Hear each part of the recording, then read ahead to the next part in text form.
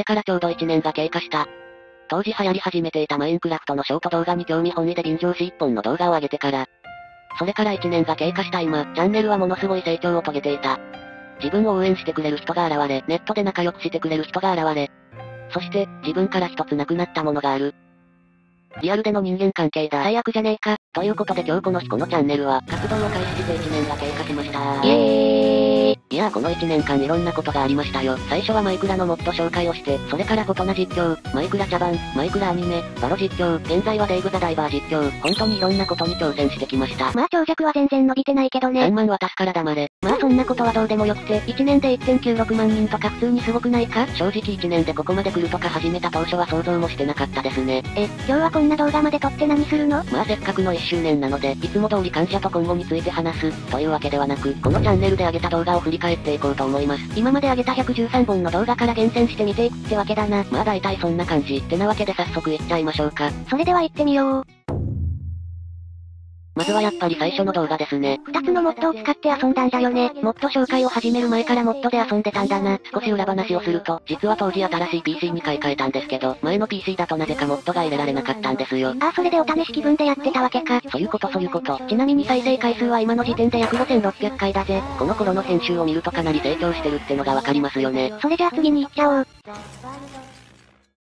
お次は初めてのフォトナ実況。ドラゴンボールコラボの時だね。この動画はヨウムが出てきたんだっけか。当時二人で撮影した場合って相方は何のキャラを配役したらいいんだろうって悩んでたので適当にヨウムを出てこさせたって感じです。普通にマリサを配役すればいいのに。まあそこは当時慣れてなかったんだろうな。初めての長尺実況だったから、かなり力を入れたのを覚えてますね。ちなみに再生回数は今の時点で約200回だぜ。編集技術不足かつ長尺ってこともあって、あまり伸びてるとは言えないね。まあ長尺は今でも伸びてませんが、ってことでこの動画はこんな感じだな。こちらは初めての1分モッド紹介。このチャンネルのイメージがこのシリーズの人もいるんじゃないかな？まあ何せパート33まで行ったんだからな。初回にこのモッドを選んだ経緯なんですが、これ他のモッド紹介系の人が紹介してたモッドなんですよね。え、つまり人のパクったの？捉え方によってはそうなるが、まあでも紹介の内容はかなり違ったものになってるからセーフ。この動画の再生回数は現在約3400回だぜ。ちなみにこのシリーズでは最低だね。初回ってもっと再生されるもんじゃないの今度はアザラシ行きます。そして次は初めてのコラボ動画。しらすもやしさんとのコラボだね。チョコミントの昔からの知り合いだぜ。フォトナ実況をしてた人たちなんだけど、普通にガチ勢すぎて無双しちゃったんですよね。今は活動してないっぽいけど、また機会があったら一緒にコラボしたいな。まあ特に裏話とかもないんだけど、強いて言うならこの動画、初めてゲーム音を取れてないミスをした動画なんですよ。結構他の人の動画とかでもよくあるよね。この動画の再生回数は現在約300回だぜ。当時の長尺にしては伸びてる方じゃない？この動画あたりから編集が変化してきます。何やってんだウプ主。はいこの動画は初めてのバロ実況。最近やってるバロ実況の初回だね。これはチョコミントの私生活にもかなり影響した動画なんじゃないか？この動画でバロを始めて以来知り合いと一緒にバロをやったりしましたからね。自分にとってはかなり思い出の動画です。この動画では完全初見プレイだったんだよね。競技性の高いこのゲームではかなり迷惑だが、多分この動画撮ってなかったら、今の人脈は少し違ったものになってたかもしれないです。そしてこれの再生回数は現在約200回だぜ。伸びなかったのによくバロ続けれたね。まあバロは撮影が楽しかったから続けられたって感じなので。ット。お次の動画は1分モッド紹介第10弾。え、なんでこの動画が印象的なの？普通に1分モッド紹介動画の一つだが、ふふ、実はこの動画ですね。うちで初めて1万回再生された動画なんですよ。あ、そうきたか。っていうかなんでそんなこと覚えてんだよ。いやいや当時は1000回行ったらすごいってレベルだったんだからね。あまあそれなら覚えてるのも当然か。チョコミント死に刻まれる記念すべき動画だったのかこれ。ちなみにこの動画で紹介したモッド、シリーズの中でもトップレベルで最高なモッドだと思ってます。でこの動画は現在約2万8000回再生だぜ。あ、伸び止まりしちゃってる感じかな？それでも心に強く刻まれた動画でしたよこれは。業界にはちょっとはいそして今度の動画はバロ実況2本目。バロ2回目にして縛りプレイした動画だね。これまたなんで印象的なんだ？この動画、長い間ずっと長尺で一番再生されている動画を保持してたんですよ。あ、つまりチョコミント的に伸びた長尺といえばこれ、って存在なわけだ。っていうか2回目ってことは前回より上手くなってたのか？実は初回からこの動画を撮るまで初回上経ってるんですが、その間に結構バロやってたんですよね。じゃあその2ヶ月間で結構慣れてたってことね。急な縛りプレイがうまくいったのも納得だぜ。これは撮影がめちゃくちゃ楽しかったのを覚えてます。そしてこれの再生回数は現在約1000回。案の定そこそこ再生されてる方だね。伸びは保持しているようで何より。777をする気だそしてこれは1分もっと紹介第23弾の動画。ああこれは結構知ってる人多いかも。確か再生回数がこのチャンネルのトップ集団のやつだ。はいまあその通りなんですが、それと同時にこの動画、初めて10万再生を突破した動画なんですね。10万再生って言ったらもう波の YouTuber レベルじゃん。めっちゃ大きな一歩になった動画じゃねえか。ちなみにこの動画で紹介したモッド、ネタ切れになった時の切り札として取っておいたモッドなんですよ。まさかの切り札が最強の札だったとは。はいそしてこの動画の再生回数は驚異の約40万回。わかってたけどえげつない数字だね。ちなみにこのチャンネルで4番目の再生回数なので、この動画を越せる動画を作れるよう頑張ります。さあこちらは1分もっと紹介の総まとめ動画。2022年に投稿した1分もっと紹介を1本の動画にまとめたんだよね。動画時間28分とチャンネル最長だぜ。いやー、教に包まれながら作りましたよ。この動画を見ると、わずか4ヶ月間でどれほどの成長をしたかよくわかるよね。立ち絵やら形式やら何もかも変化してるからな。面白いモッドを探してる人にとっては結構実用的な動画なんじゃないかな。そしてこの動画の再生回数は現在約800回。お役立ち系としてはもうちょっと再生されて欲しかった気持ちもあるけど。まあ縦画面の長尺は人によっては見にくかったかもと今更公開してる動画でもありますね。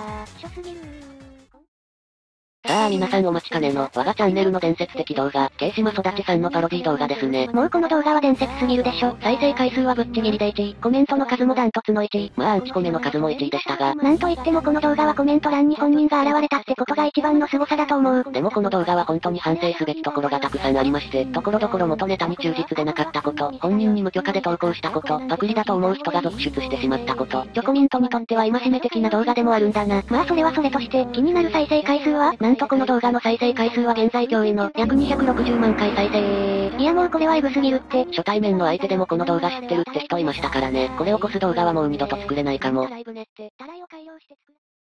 そしてお次はレール杯に参加した時の動画。確かレール杯はレールさんが主催したアスレ企画だよね。大型企画に誘われたのはこれが初めてじゃないかまあ参加希望したものはありましたが、招待制の企画に参加したのは初めてですね。七門さんとかが参加してて相当大型な大会だったな。とにかくレールさんの人脈がえげつない。いや早く活動休止から戻ってきてほしいなレールさん。開催においていろんなトラブルがあったけど、結局はめちゃくちゃ楽しかったです。そしてこの動画の再生回数は約1000回。長尺にしてはそこそこな伸びだね。よかったら他の参加者さんの動画も見てみてください。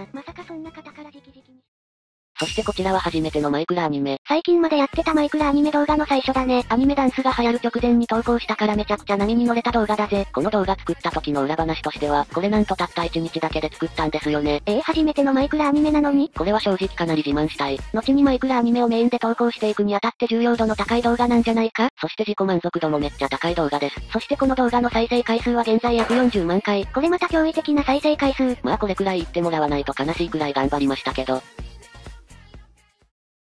はい、お次は個人的に最高傑作と思っている動画。これは確か Y1 グランプリで決勝の時に出展した動画だったっけ？ちなみに Y1 グランプリとはゆっくりの動画のコンテストのことだぜ。え、結局チョコミントは何位だったの？まあコンテストの決勝なんだから、普段使わないような技術をふんだんに取り入れようと思って作った結果、見事約40人中4位に輝いてしまいましたね。え、それめちゃくちゃ上位じゃん。自他ともに認めた傑作動画ってわけだ。3分っていう短さだからぜひ見てほしいです。ちなみに再生回数は現在約2500回。長尺実況としては最高。これくらいが当たり前になるのを夢見てます。さあやってまいりましたもう一つの記念動画。来ました1万人突破記念で作った動画。客観的に見た出来で言えばこれが最高なんじゃないか個人的な面白さの満足度で言えばさっきのがナンバーワンだけど、どれが一番出来がいいか聞かれたらこれを答えると思う。ちょっとややこしいな。まあともかく、この動画は長尺で一番再生されてるし自他ともに認めてるわけだ。ちなみにこの動画、試験期間の直前に大急ぎで作ったんですが、本気出した結果1週間足らずで完成したんですよ。時間単位にすると何時間くらい ?1 日3時間くらいこれに費やしたからだいたい20時間ちょいかな。そしてこれの再生回数は現在約2500回再生。さっきの動画と大体同じくらいだね。この動画は今後も伸び止まりしないでほしいですね。お次はマイクラアニメ茶番初回。つい最近まで続いてたシリーズの始祖だね。マイクラアニメとゆっくり茶番を掛け合わせるっていう新しいジャンルを開拓しようとした動画なんだよな。まあその試みは半ば不発に終わりましたが。まあでもこのシリーズでうちのチャンネルを知った人も少なからずいるはず。この動画のチョコミントの満足度はどうなんだ？まあまだマイクラアニメに慣れてない時に作ったから、今見たら物申したい部分が多々あるよね。でも投稿した時の伸びる期待は高かった気がする。ちなみにこれの今の再生回数は約2万5000回。うん、初回にしては伸びてない方かなそもそもマイクラアニメ茶番シリーズは大体伸びてないっていう。そしてこちらは新アイコン発表動画。え、ただの発表動画なのになんで炎症に残してるの？いやこの動画、実は初めての長尺のマイクラアニメだったんですよ。確かにショートで精一杯だったマイクラアニメを長尺で作るのは骨が折れそうだな。ちなみに裏話としては、新しいアイコンを書いてくださった S さんに、発表動画は12日にあげますね。って伝達したんですよ。え、投稿されたの14日になってない？ちょ、チョコミントお前まさか、その通り、普通に編集が間に合わなかったんですね。いや最悪じゃん。本当に申し訳なかったです。ちなみに再生回数は現在約1500回。長尺にしてはめっちゃ伸びてるじゃん。1話的な動画がここまで伸びるってのはちょっと驚きましたね。はいお次は大物とのコラボ動画。現在登録者数11万人。クイジオンさんとのコラボだね。ここまでの大物とコラボしたのはこれだけだな。うちはコラボした当初と登録者数がほぼほぼ変化してないので完全に置いてけぼり状態っていう。悲しい。この動画のチョコミントの満足度はどうなんだ？コラボだって言って張り切って作ったからボケが完全に受け狙いな感じになっちゃってるんですよ。だから満足度はちょいとばかし低いですね。それはクイジオンさんに申し訳ない。ちなみに再生回数は現在約1万2000回だぜ。マイクラアニメ茶番シリーズで最低。悲しい。そして最後を締めくくるのはこちらの動画。今ちょうどやってるデイブ・ザ・ダイバー実況のパート1だね。これはみんなも記憶に新しいんじゃないか長尺が伸びてない中投稿した動画なので、かなり挑戦とも言える動画なんですよね。ところでさ、なんでこのゲームをやろうって決めたの？一応最近話題になってるゲームっぽいが、このゲームは Steam で買ったんだけど、なんか Steam の週間人気ランキングみたいなのに載ってたんだよね。つまりその急上昇してる人気に乗ろうとしたわけだ。そして気になる現在の再生回数は約300回。あ、一矢報いたものの、って感じなんだ。でもこのシリーズは始まったばかり、これからの活躍を期待しましょう。はいってことでさあいかがだったでしょうか？このチャンネルの成長が丸分かりだったね。1年とは思えないくらい変化してたしな。正直自分も作っててめちゃくちゃ懐かしい気分になっちゃいました。じゃあこっからはこれからの活動とかの話かな？いやその前にまずはですね、自分が1年間 YouTube を続けられたこと、登録者数約2万人という称号を手に入れられたこと、すべては視聴者の皆さんのおかげ、この場をお借りして感謝したいんです。まず最初に感謝の言葉ってわけか。はいってことでせーの。ありがとうございました。それでは今後についての話に入らせていただきますね。なんか変わることとかあるの？いやもうこのチャンネルの活動指針は変わらずです。今後も気の向くままに動画を作っていきます。それじゃあ引退とかの予定はないのか？引退の話ですが、今この自分は学生、いずれは勉強がきつくなってきます。ですがその時はその時、今はただ自己満足で動画を作っていくだけですね。1周年を迎えたからといって何か変わるわけではないみたいだね。うんそろそろ話すこともなくなってきたな。がむしゃらに長引かせてもあれだから、そろそろ動画を終わりましょうかね。改めて1周年ありがとうございました。また後日の動画で会いましょう。それじゃあ、まったねー。